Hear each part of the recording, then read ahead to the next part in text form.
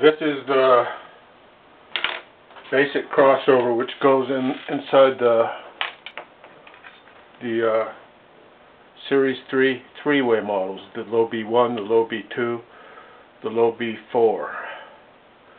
And the purpose of this little video is to to show you how to remove it should you have to. Unlikely, but stuff happens, you know.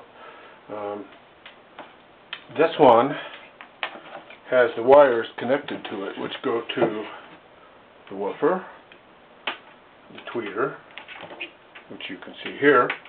The reason the tweeter is connected is because the the tweeter end of this wire is soldered to the tweeter.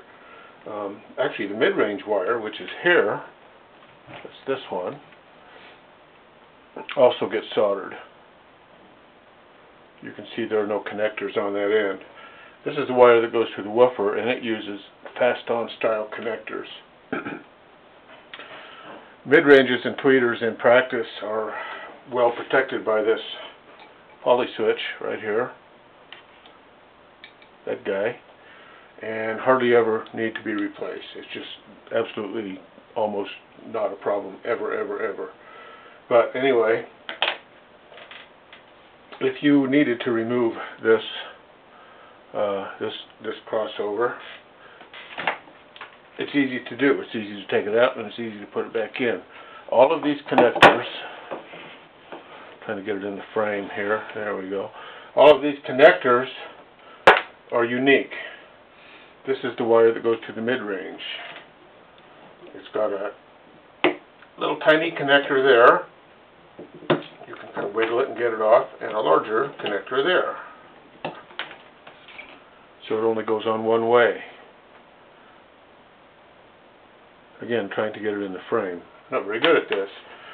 Now the wire to the tweeter has a, a common trace on that circuit board. As a matter of fact, it's the positive wire to the mid-range and the negative to the tweeter, but regardless of that, it has the same connector. So, those two have the same connector on them. One goes to the woofer, one goes to the tweeter. The other tweeter wire has a different one. Again, it's impossible to hook these things up incorrectly. There's only one way to hook them up.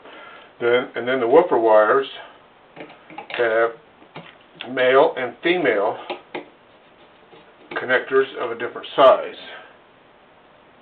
And there they are.